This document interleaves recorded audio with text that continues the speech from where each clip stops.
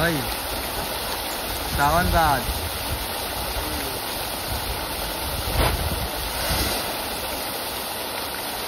भाई, सावन में मछली मरा है।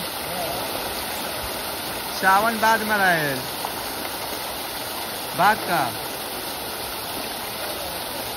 हाँ भले उतरे वाला रहे तो।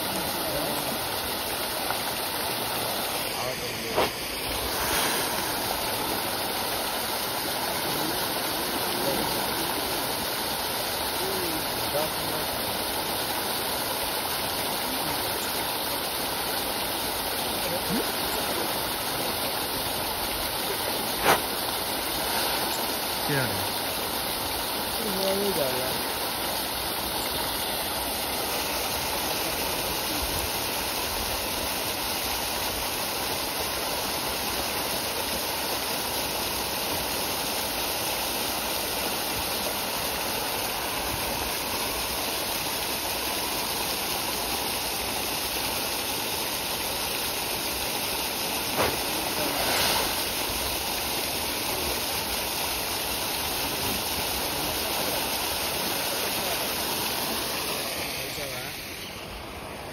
direito.